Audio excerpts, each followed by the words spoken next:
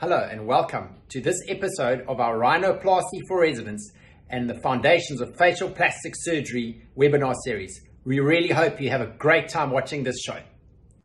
Okay, there we go. All right, so I'm I'm unmuted and um, I'm having two two screens here. Uh, uh, uh Cameron, this is amazing. Of the hundred plus hours of rhinoplasty education on the internet that has occurred since uh, global lockdowns across countries, um, 22 or more of the best ones have been uh, through SORSSA and your organizations and your leadership on this. You are redefining medical education in our specialty, uh, and I think broadly as well. Uh, I do want to uh, uh, welcome also, um, gosh, so so many people that are are, are online here speaking. Uh, in particular, honored to have Jose Patrocino, Holger Gassner, Ali Riza, Misbahi, Roxana Cobo, Andres Gantous, uh, Philip Kakas. sorry, I said your name wrong. Um, I'm sure I'm missing people because I can't read all the uh, the YouTubes. I mean, all the uh, the readers here, and maybe there's others on YouTube that are my friends that I don't see uh, as as well. Um, so we'll go on and, as we go forward here. Um, so this meeting never happened. It was the greatest meeting in the world that never happened. Um, disclosures are not relevant to this. Uh, please, no recording or photography. Uh, thank you. Uh, Oren talked about piezos and other aerosolizing generating uh, devices. I want to just very briefly, we could talk about this later, uh, talk about the use of smoke evacuators. Uh, that's a smoke evacuator. Uh, ULPA filter gets out 99.99997 of particles above uh, 100 uh, nanometers in size. Coronavirus is about 140 nanometers in size. This kills compared to uh, an HEPA filter, which is 99.997, and much better than N95, which is 95 uh, percent. These are uh, widely available. I use PAs, those with this at hand. Uh, we studied that because I think this could train some of the practices out there. This is a computational model of the flow. So let's get back onto rhinoplasty here. Symmetry, shape, projection, rotation. Really, we're talking about how the nose looks when you see it, and what you're looking at are dark spots and light spots and shadows.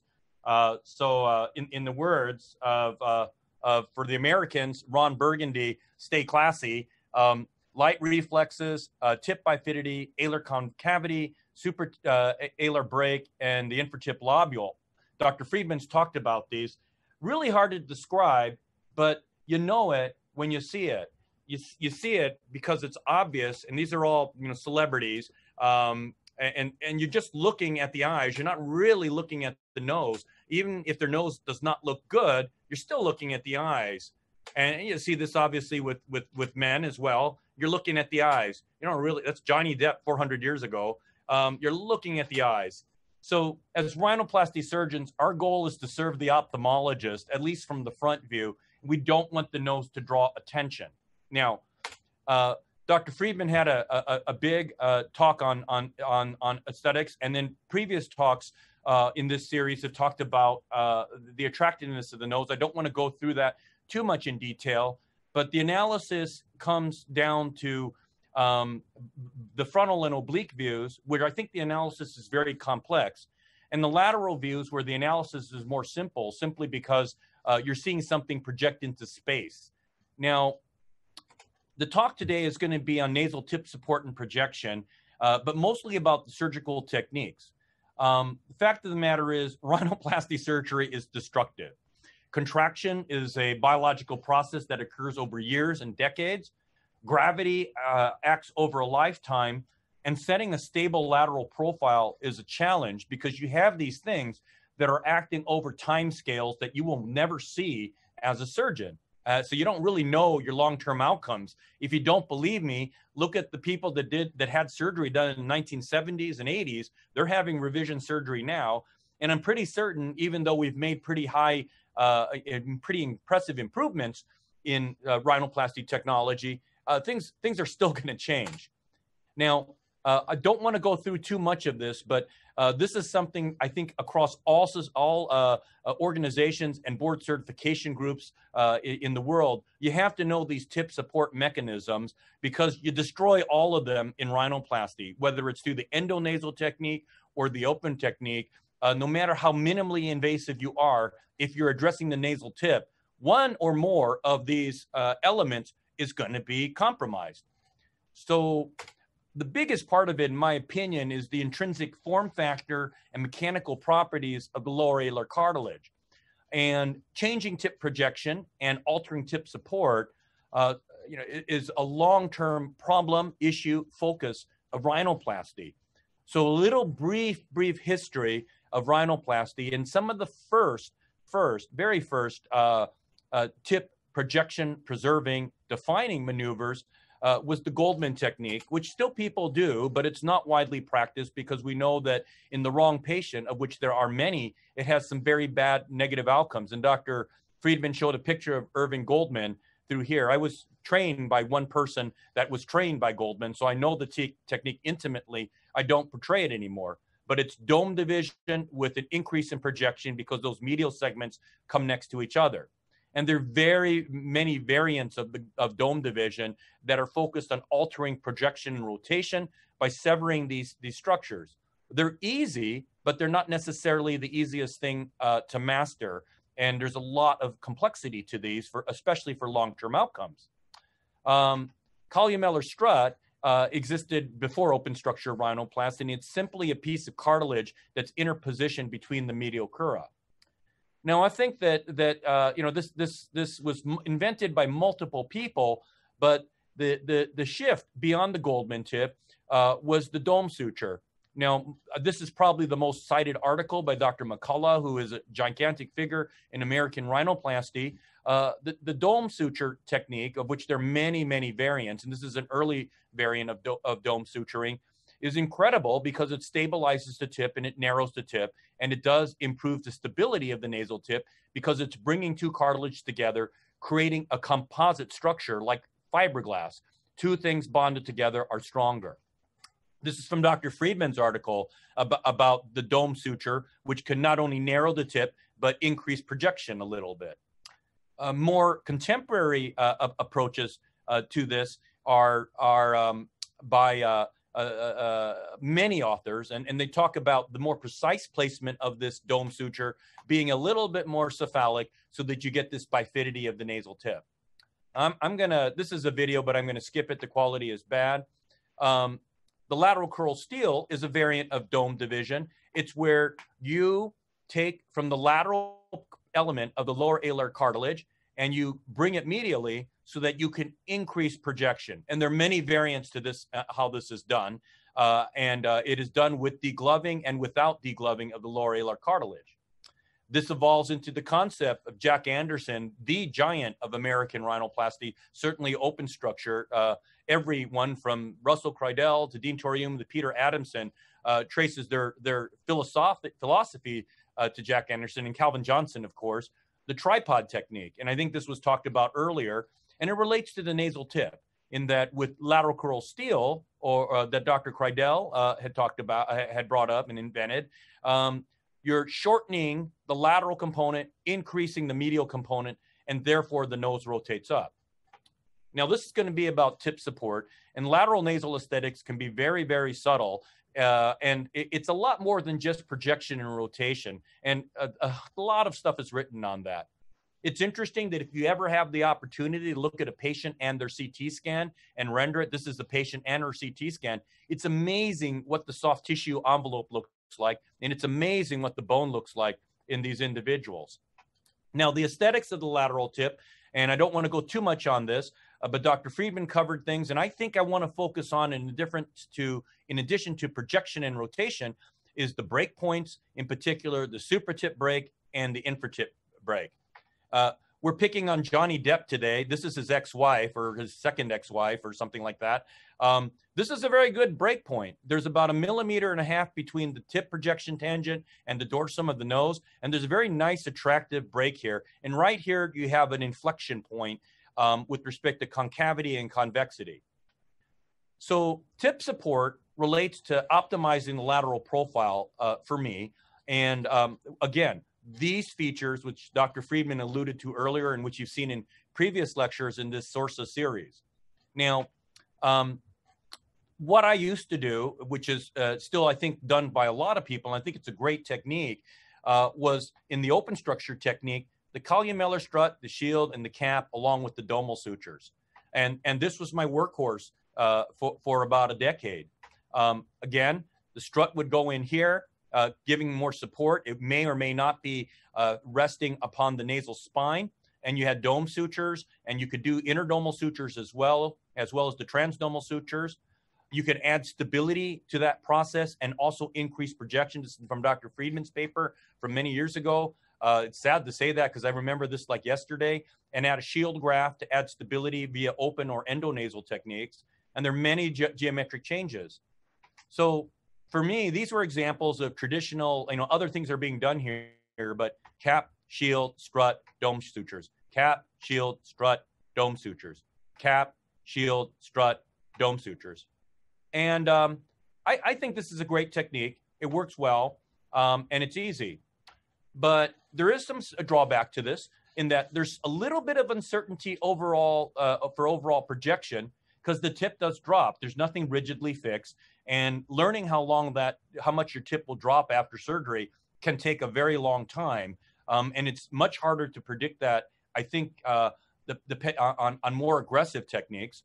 Um, it's uncertain sometimes where that infratip lobular breakpoint is. There's a little uncertainty over that supratip uh, breakpoint. And again, depending upon t- technique, wound healing dynamics. Some comedy here. Okay. Predictable and stable. All right. We need that. We could put a lot of other politicians up there now, given uh, the coronavirus, maybe about another 50. Um, 2006, uh, I haven't really used the columellar strut, shield, or cap graft as a principal means to increase projection and maintain tip support. So for me, what's predictable and what's simple? Now, uh, this is probably the most cited article on tongue and groove. Um, I don't think he invented it, but he certainly was one of the most uh, early proponents of tongue and groove, Dr. Kridel, who again is a giant in American rhinoplasty, global rhinoplasty. Tongue and groove is when you have an excess caudal septum, you can just suture the medial crura and other structures to that septum and lock in your projection, your rotation, every single thing. And it will stay like that for a very, very, very long time. But not everybody has this excess caudal septum. In fact, some people have a deficient caudal septum. What do you do? Septal extension graft, again, uh, wasn't invented by Dr. Toriumi, but he popularized it more than anybody in, on the planet. And his paper in 2006 made the world change its axis. Everything changed. And this was introduced to the broad population of rhinoplasty surgeons, along with lateral crural strut grafts, um, advanced rim graft use, and, and a lot of other things. And the septal extension graft here, which is positioned in his diagram uh, uh, in a side to side fashion, uh, was transformative. And there are many ways to do this. And this is how I used to do them. I do them a little bit different now. Septal extension grafts can be end to end, right in the middle there, secured to the caudal septum. Uh, septal extension grafts, uh, when done this way, can be used to control all of these lateral factors. Now, I'm going to show uh, in graphically before I hit examples how we can do that. Here's an example um, a, a, schematic of a computer uh, drawing, and there's the the points that we care about from lateral aesthetics. And you can fashion a septal extension graft that follows the geometry of these red and uh, uh, yellow dots. And by the placement of that graft, again, define where those those points are.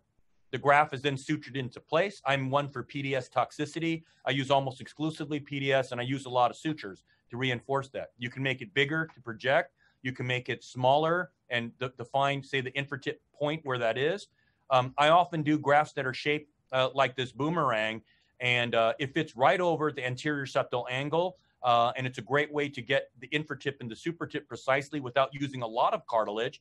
I'll secure them with an extended spreader graft. I'll secure them with little cartilage shavings that are four by eight millimeters or something like that in size, half a millimeter in thickness, and suture that on. Uh, on occasion, rarely I will use uh, PDS foil, less and less with every day that passes for me using PDS foil. Um, caudal septal extension graft sets the lateral tip profile. Now, um, it, it's a, a, really, really, really nice thing. Uh, I like it um, in particular because of the ability to control aesthetics. Now, there's two types that I use a side to side, which I think is easy, fast, very stable, but it has the risk of nasal airway obstruction, particularly if you have a very narrow nose. And in those cases, the end to end is a little bit better, in my opinion. It's a little bit more technically challenging. It takes a little bit more time. It needs to be stabilized with these side buttress grafts, but it's a very efficient use of cartilage. So we're going to be talking about uh, about this. This is traditional side to side, um, and I fixate it with needles and then suture it in, and uh, I contour it with the skin soft tissue envelope flipped downwards, and I define uh, essentially rigidly where my projection point is, because that's where I'm going to suture my dome, where my infratip break point is, because that's where a suture to the medial crura is, and where this part down slopes where my arrow is will, t- will define where my break point is. And you can do them a lot of different ways like this. Um, here's an example um, of a, a septal extension graft, and if this will play through here, the first thing that I do is secure with needles. And um, Needle, please. I'll voice over with my, my videos as well, and we might not show all of this just in the interest of time. So we'll, we'll put some needles through, and I usually like to put two needles in to secure it. This graft is bigger than what I need. It will be cut down, and I will be millimeter by millimeter cutting that graft down to fit. And uh, I'll use PDS sutures to secure that through here. You don't need to see me suture. And um, you can see that. Good. And then Thank I'll you. adjust it Thank you. That's it. based upon the size. Another example, same thing. And suturing that in, in this case, securing it with an extended spreader graft.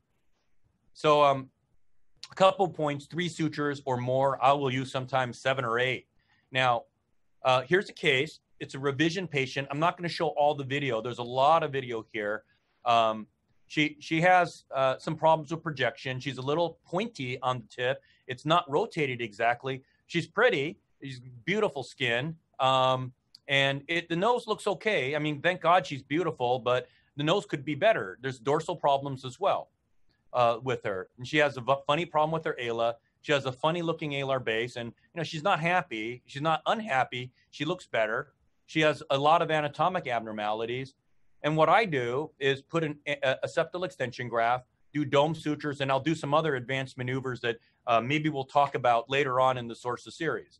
Uh, again, dome sutures, a septal extension graft placed here, uh, and then uh, the dome sutures.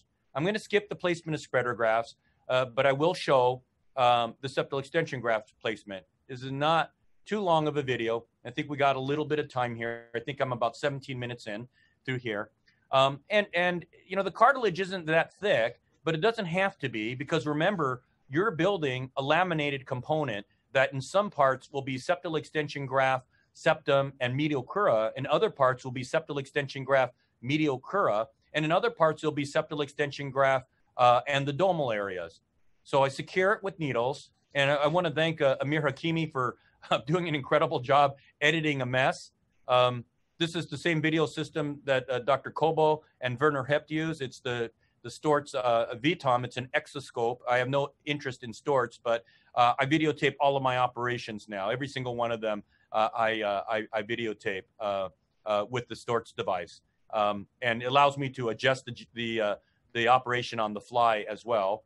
And I put a lot of sutures there because you you want to secure that rigidly, and you don't want torsion or flexure. So you put a bunch of sutures in this area and secure it into position. We'll skip ahead a little bit because we don't need to see all of these sutures. And then once that's in position, I will trim that graft, put the skin down, and say, Do I like my profile? And oh, I do like it. So we're going to go on next. Um, domal sutures, which are a, a key element to, to, to this, um, are pretty easy. In this case, I'm going to be doing a lateral crural uh, steal as part of a lateral crural tensioning maneuver. I've marked where my original domes are, and then I will mark um, where I want my new dome to be because I'm stealing, and stealing will incre- increase projection. And um, I, I like to do this. I like to measure everything, uh, not as much as some people, but I do a lot of measurements during surgery. And I, I dry off that little tip with some with some gauze, and I measure it up. Uh, and you notice that there's going to be uh, these are, are perpendicular to the caudal border. That, that fold is perpendicular to the caudal border of the lower alar cartilage. Um, and I measure that meticulously. And then uh, I'll put sutures in. uh, I have an assistant uh, hold it exactly where the flexure point is. Um, and uh, oh, going back a little bit, I'm sorry. Sorry about that. A little bit of a failure. I should show the videos if I can, where I have it.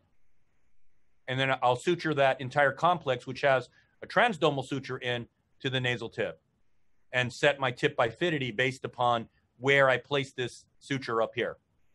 And this composite uh, of medial crura septal extension graft is very, very, very stable. Now, in the interest of time, I'm not going to go through the entire operation. These are very complex maneuvers on her. We'll just see the difference. A little bit better controlled, not perfect, but for a secondary operation, I'm pretty happy with the outcomes. Now, um, side to side is pretty easy, and that was side to side. End to end is a little bit harder because it's got to be in the midline, and you have to bridge this graft so that it has some sort of a of a of a connection between the the crura, uh, I'm sorry, between the graft and the caudal septum. Uh, it can deviate too, so to have some of these bridge grafts in is important. This is a septal extension graft. Again, bigger than I need. I'm going to cut it down. And there are a lot of these little grafts that are less than 500 microns, less than half a millimeter in position that are holding it in. And I'll use all sorts of different geometries to it. Here's a, a piece of rib that I've contoured uh, to the caudal septum. And obviously that's too big. I'm going to cut that down a lot. Here's another rib that I'm going to cut that down a lot. Another rib that I'm going to cut that down. Here's a revision patient. She's not happy with her outcome. Somebody else operated on her. I put a septal extension graft on the end. I did a lot of other things as well. Um, I've supported the septal extension graft with, with some other grafts. And um, the end result, just again, end to end is okay. And I'll go through a couple cases of this in detail. Another revision operation, uh, again, an end to end septal extension graft. They did alar base incisions, and I should have been able to pull that alar margin up with direct excision. Uh, did not do uh, as well as I want. Here's a primary, uh, again, using an end-to-end septal extension graft, end-to-end septal extension graft. I'm setting the lateral profile in each of these. Well, another revision, end-to-end septal extension graft, primary, end-to-end septal extension graft. So you saw me do this sort of boomerang shape and geometry to the tip. I'm going to go through a case in detail so you can see this technique. It's actually easy. It does take a little time, but it is easy. And why I like to do this is you don't crowd the airway. You're right in the middle of, of, of the airway. And it's a conservative use of, of cartilage. So um, this, this woman is a hairstylist. Um, the best patient you can have is a hairstylist if you do a good job. It's also your worst patient if you don't do a good job. She's got a lot of stuff in here, but I want to focus on the need for rotation, uh, among other things. So we're going to try to correct that. So I, I used uh, a boomerang septal extension graft where uh, that's the septal extension graft right there. I actually make a template uh, using cardboard. And then uh, I'll show that in the next uh, coming videos of how I work, work this. In the next video, we'll show this graft in right. position. This patient, uh, we have a septal extension graft that's hooked on in an end-to-end fashion here. She has a, a, a very acute angle in this area. This angle is softer. We're going to do a very conservative lateral crural tensioning, lateral crural steal, and then put articulated alar rim grafts after we do intradomal, interdomal sutures. Thank you. And I'll go through the entire procedure now that you've seen a little bit of it on the next case. So in her situation, not perfect, um, but I'm happy. She's very happy. Uh, a little bit too square on the infra tip and a little bit too much fullness on the super tip. Um, got her back in midline. And uh, she's also can breathe, which is always nice. Now, um, the template technique, which I, I, I, mentioned, is going to be shown on this patient here. Um, we're going to focus on on the extension graft, not the other stuff, because this is about how I can achieve tip support and how you can reliably uh, through this. So she's got a lot of these problems. Uh, it's a very square, funny shape to this uh, infratip lobule, this point, and that's almost like a 110 degree, 120 degree angle between these. It much, needs to be much flatter, among other things. Um, it's an operation where uh, I did a septal extension graft end to end. I did dome suturing, among other things. I like rim grafts, but again, that's a talk for later on. Uh, it's an anterior approach to the septum. uh, an open rhinoplasty incision. I'm going to skip uh, the septal cartilage harvest and go straight in to uh, the, uh, the, the template approach. And I'm going to show this in detail. Is that better like that? Okay, so with this marking pen, have one ready. I'm making a template for a uh, boomerang or end to end septal extension graft. You're making a, a little bit of a of a smudge mark here that defines the border of the graft. So we go over here, marking pen, sir. Thank you. Can you see that too? So we're putting little dots right there. This is sort of the border of the graft as we're going to be going end to end. This is the border of the caudal septum, rather. And our graft, from what we see with this patient, is going to have to, Brown Anson, graft is going to probably be very small uh, and bring her up to about right here, a little bit of rotation. So I don't need a lot. When I design these marking pen, I um, I always err with too much projection and too much counter rotation. This is nowhere near the size of what we'll need. We won't need anything this big. But we'll start here with the template and then we'll trim downwards. It will not be anywhere near this large. Uh, and then we'll cut our template. And thank you. This is way over projected. So we're going to then sequentially cut this down. And this is for, again, a, a graft that will be um,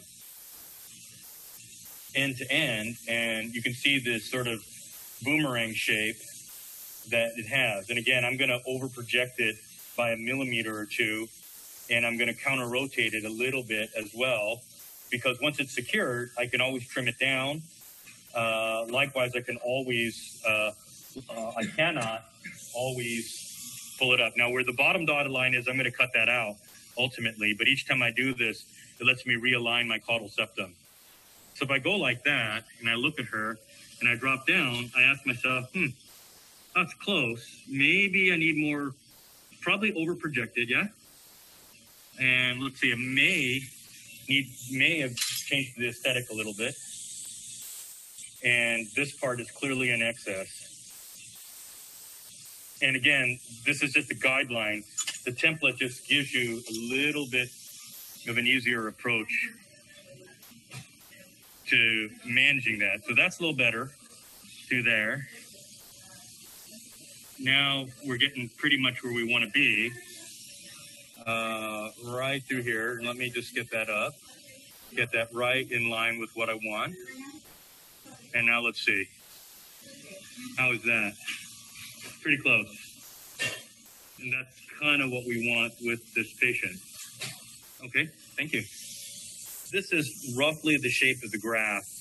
Um, some notes, when you cut your cartilage, I'm actually gonna, when I actually cut the cartilage, I'm gonna give myself a little bit more counter rotation in this direction outwards and a little bit more projection because it's still a little bit small. Uh, it's amazing how, how here we have um, this will probably be a spreader graft this this crest cartilage it's not load bearing but it does occupy space and it will be stable it's going to be about 24 millimeters longer than we need we need 23 this spreader is 22 millimeters longer than we need as well so we can always extend it to embrace the septal extension graft. Articulated alar rim grafts measuring about 18 millimeters are in this area, mainly selected because of the contour. It's probably going to be thicker than what we need, maybe not ideal. And then we'll have remnant cartilage around here. Note that with this cartilage here, um, the opportunity to get a little bit more caudal cartilage uh, distal to that tip defining point in this direction where I'm touching, and a little bit All right. So, and then securing it, I use a, sig- a figure of a uh, series of figure of eights. I'm not going to talk about uh, piezoelectrics. Um, and here's that patient. Another case study as, as we're winding down. Um, this is a rib case. I, am not going to talk about ribgraft harvest. Uh, sometimes I'll use a piezo. Um, I use a special cutter that uh, uh, gives me very beautifully sliced segments. Uh, and here is a um, septal extension graft being put in again with rib. What you'll notice here is the extended spreaders here, which are also stabilizing it. And with, with rib and major reconstruction and a secondary, sometimes that is necessary because you've already got a contracted soft tissue bed.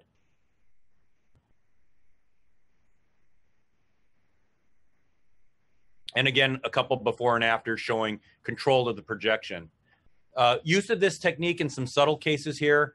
Uh, again, you're focusing on the super tip and infratip lobule. Again, uh, you know, super tip and infratip change is what we're looking at. A little bit of rotation. And you can get that precision using this type of a technique.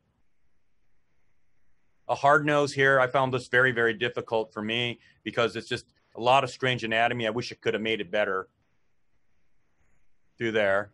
This is a very subtle case. This is actually a functional rhinoplasty with the one of the worst septums I've ever seen, Z-shaped configuration. She didn't want really very much change in her nose. So I used an end-to-end septal extension graft because I wanted stability through there.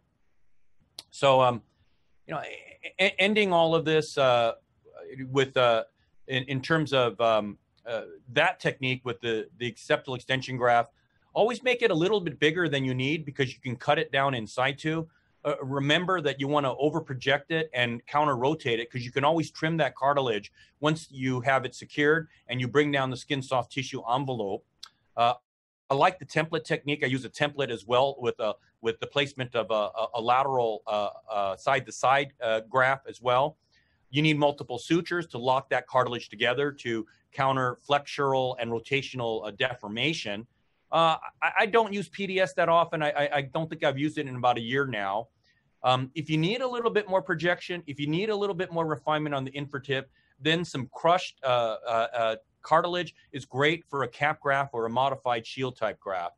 And I think on all of these things, don't hesitate on a septal extension graft to start all over again if you're not happy and take your sutures out because um, you, you do your revision operation at the time of your primary uh, this is a shameless plug uh, for uh, uh, the guidebook for those that are taking the international examination. Uh, I wrote this because I had to take one of these examinations, uh, so other people studied for me.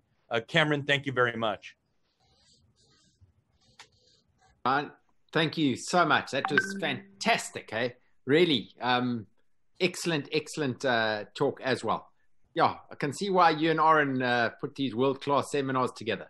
So, whilst we get ready for the questions, um, a shout out to everybody. Next Sunday night, it's all blephs. Okay, we're getting two talks on blephs. That's going to go out on social media tomorrow about exactly what it's going to be. But make sure you come back next Sunday to learn about that, re- residents especially.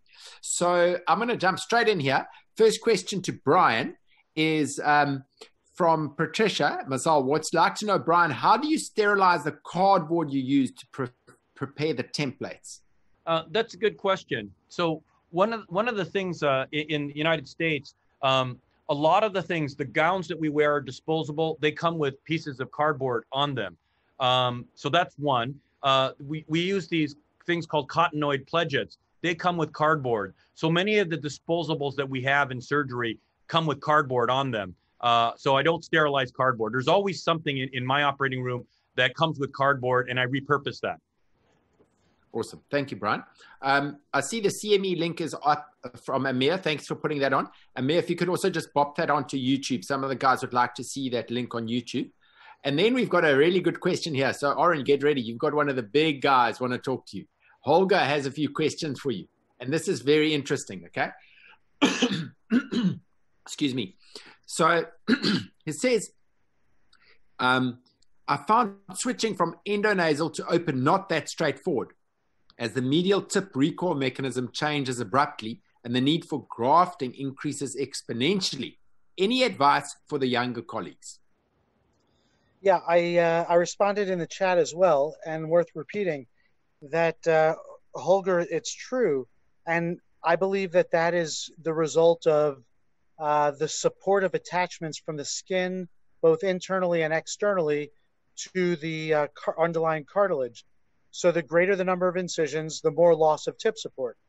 So if you're doing a transfixion incision alone, uh, hemi-transfixion or complete transfixion, you still have uh, the main support mechanisms for the lower lateral cartilage intact.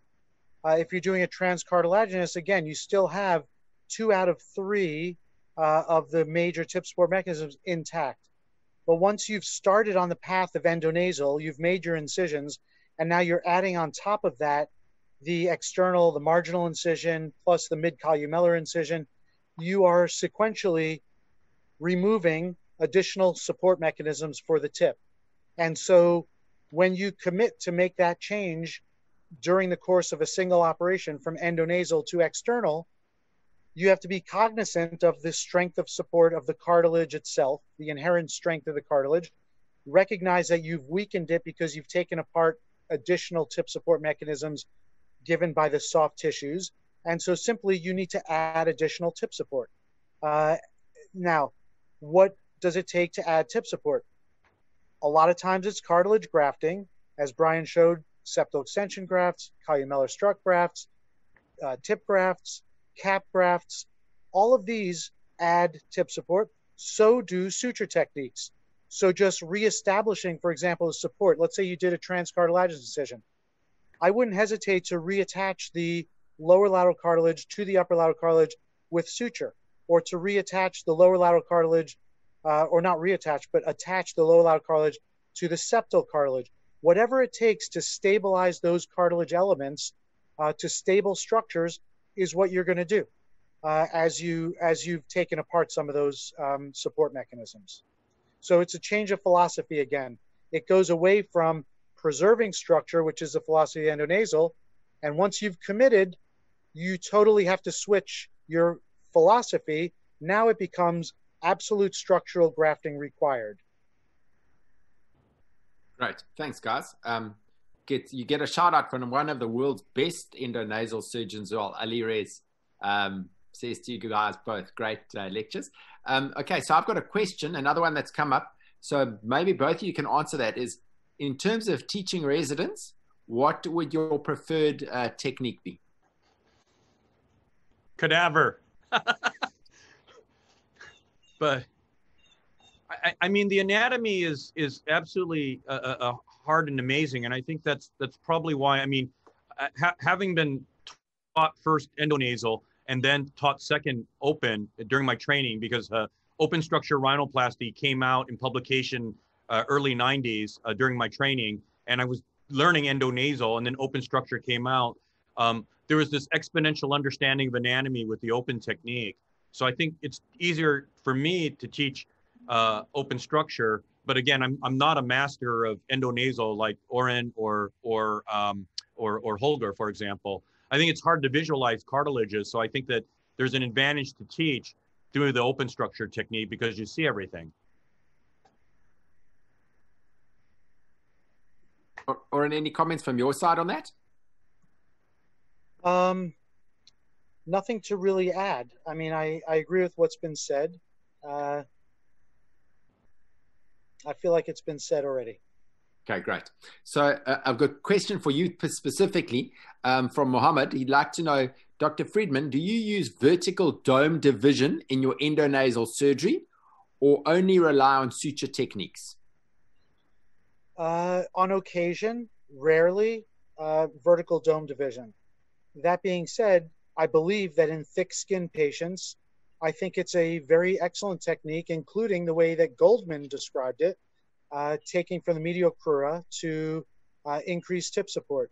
So I don't have a problem with it. I think it could be done actually quite safely, um, especially if you uh, minimize incisions, because I believe the incisions provide excellent support. So, for example, uh, take now the infracartilaginous approach exclusively. So not delivering, but preserving the scroll intact.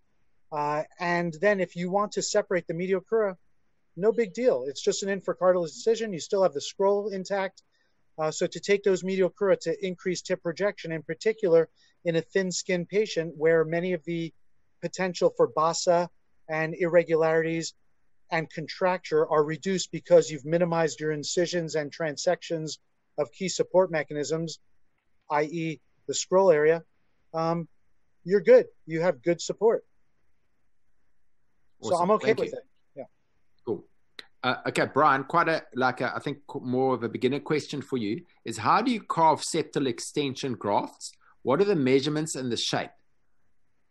Well, I, again, it's it's. A, I think that if you're starting um, using a septal extension, uh, I like to, the, the template technique, whether I'm doing end to end or side to side, because you're basically uh, putting a piece of cardboard in the nose to simulate what your graft would look like. And you can cut the cardboard a hundred times, and if you do it wrong, you can get another piece of cardboard, uh, sterile cardboard, and put that under the skin soft tissue envelope so that you can see the geometry of the graft there.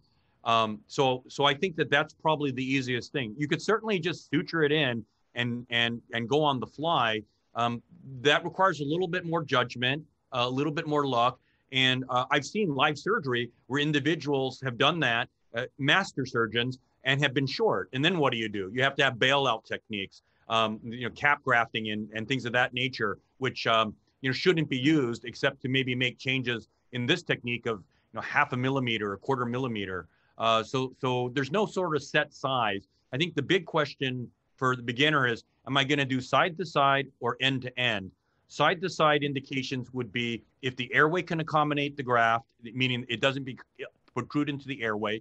If it doesn't displace the tip off the midline, and that works for a deviated caudal septum, uh, and um, uh, in, in another another way uh, that you have adequate cartilage, uh, and it can also enforce reinforce the stiffness and stability of the caudal of, of the caudal septum.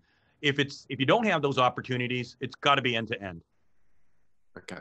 In many ways, in the cat. Sure. Okay. Another question for you is, uh, uh, Alessandro, so you were using a green glove on your patient's forehead. The question, what was the function for that glove? Do you use it with ice to reduce the edema? Well, uh, this is uh, goes back to South Africa in that my my, mentor uh, Roger Crumley, one of my mentors, had been mentored at the University of Iowa by Leslie Bernstein, a giant in the American Academy, uh, and also uh, uh, an expatriated South African. He trained so many hundred facial plastic surgeons in the world. Bernstein had had had had through him. it was take a glove, a sterile glove, fill it with crushed ice, tie the end of the glove off, and after you do your osseous work, put the glove over the dorsum to reduce any acute swelling. And I, I would say that I, I, I, try to do that in most of my operations where I'm doing something where I think I can have swelling across the uh, the osseous dorsum, in particular osteotomies. Um, so it's just that's all it is. It's just a cool pack on the dorsum to eliminate swelling. Uh, that that I also have them do that post-operatively. Um, Californians do not understand the concept of frostbite, so I educate them on what frostbite is and tell them 15 minutes on, five minutes off, 15 minutes on, five minutes off. And if a patient has grown up in a cold weather climate, then uh, I don't need to tell them that. They already know how to do that since they were little children. That's great. Okay.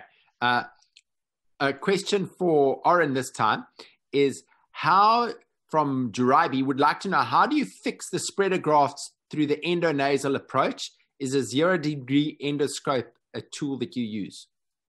Uh, not typically, I don't use an endoscope. I like to create a very tight pocket, uh, separate from the septoplasty uh, flap that's elevated. I keep intact at the high at the. If this is the height of the septum, mm-hmm. then I will elevate the septal flap to do the septal work up until here.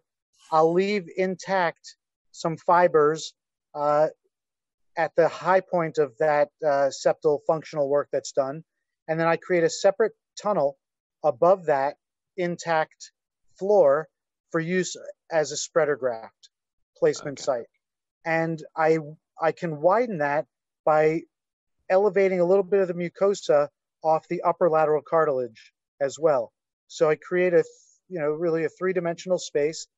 Uh, it's very easy once you get a hang of it. There is a little bit of a learning curve where you'll pop through the septal flap at times um, as you're trying to create that hole, or you go to the opposite direction of the septum.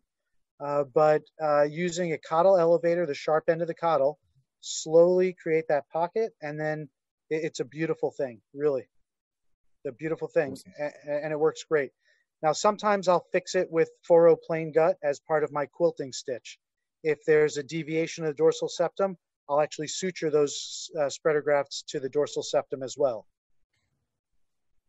That, that's hard. Uh, the hard thing to do, and I, am curious what Oren uh, or anyone else's tricks are when you you separate the upper lateral cartilage from the quadrangular cartilage endonasally, put your graft in there, and then suture that. I, I that's I'm not good at that. I can do it, but I fumble around with it, and that's probably one reason why when I, when I think I have a, a bad functional issue where I need a, a robust spreader graft where where I open uh, for me that mid vault issue so it, my hats are off to individuals like Ali Riza, Holger, and and and Oren that that that master those things. Well, a couple of tricks. So um, one is obviously elevating off the upper lateral cartilage like that creates a tight pocket where the spreader can't float above the level of the dorsum. If so, if you're able to ma- maintain the upper lateral cartilage intact, uh, that works great. So, for example, if through a standard dorsal reduction procedure, uh, you don't need to take off that much dorsum and you can actually leave the upper lats attached to the septum in their natural capacity. That works beautifully. Um, secondly, uh, if you use preservation techniques where you can preserve that attachment between the upper lat and the dorsal septum, but you want to put an endonasal spreader, that opens it up to even more opportunity to use that spreader graft under an intact upper lat so it doesn't ride up high afterwards. So th- there's some tricks that you can use. And then yes, to suture it in, if you've done a major, if you've got a major tension nose with a high dorsum, and you have to lower the dorsum a lot, with including separating the upper lat from the dorsal septum, yeah, then it becomes a little bit more of an issue, and that's where it's a bit neck breaking as you're trying to put those sutures in. But another trick mm. for that is if you keep intact the bone, and you make sure that the spreader is long enough to lie under the bone, uh, under the bony uh, dorsum, so if the spreader can stay, that's one point of fixation. And then the second point of fixation with the suture can be at the caudal-most aspect of the upper lateral cartilage, like an extended spreader graft. And then it's right there in view of your of your uh, incision, if that awesome. makes sense. No, that's great. So that that that's that's helpful. Um, guys, we we've got a couple more questions, but we've run out of time. We've already gone over time. And as per SORSSA tradition, you know how these lectures end your top three tips that you want to give um, out to the, the participants tonight. Brian, we're going to kick off with you this time. Uh, wear a mask. Don't spit. Wear to- use toilet paper. Um, no, I'm just just joking because there's no more toilet paper in the United States. Um, I, I, I, think the, the the number one tip I'd say is is uh, is do your revision surgery at the time of your primary. That would be like the number one thing because if you're not happy on the on the table, you're not going to be happy afterwards. Be happy. Spend if it takes an hour, spend it because it's better than coming back for a revision. Uh, with respect to the topic today, um, you have to balance your selection of technique with what you're trying to achieve. How aggressive, how precise, uh, how precise you want to be determines how aggressive you are and understand your destroying mechanisms when you uh, with every exposure. And I think the, the the third very specific application is if you're using a septal extension graft, craft it to be a little counter rotated and a little over projected because you can always cut it down uh, in situ and and and contour it. Thank you, Oren. Uh, first and foremost, remember nasal function, and so from that, I'll leave, I'll give two tips. Uh, one is the septum is the primary uh, determinant of long-term rhinoplasty results. Number two, preserve the inferior turbinate because there is such a thing as empty nose syndrome, and those patients are uh, uh miserable, and it is life-altering to a negative extent. We're having a great time as surgeons uh, changing lives for the better. Uh, just like my philosophy in terms of the tip is, you know, first do no harm no need to overdo the tip. No need to overdo the airway. Just because you can drive a truck through it doesn't mean the patient's going to perceive good airflow through it. Um, and finally, uh, just have fun. Try the endonasal approach, try the external approach, understand the anatomy, uh, and that's going to make it all less of a tension, you know, less of a stressful operation and more of a fun adventure. Uh, we, we are in a great situation, all of us here, that we can do this magical operation that continues to keep us humble if we're honest with ourselves about our results, but keeps us wanting to come back to keep getting better and better results for the patients. So we're doing it for our patients, and in the process, we're getting great satisfaction. Uh, do it safely, start conservatively, and just have fun. Awesome. Wow, lovely. Hey guys, thank you so much. It's it's really it's a great honor for us to have you out here. Um, unfortunately, not in real life, but uh, yeah, thank you for your time and thank you to all the participants from all around the world.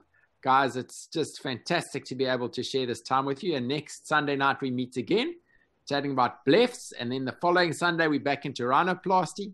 So have a great uh, rest of your Sunday, wherever in the world you are. And thank you again for so kindly logging into these webinars. Thanks, guys. Great job. Thanks, hey. Good night, everybody. Bye bye.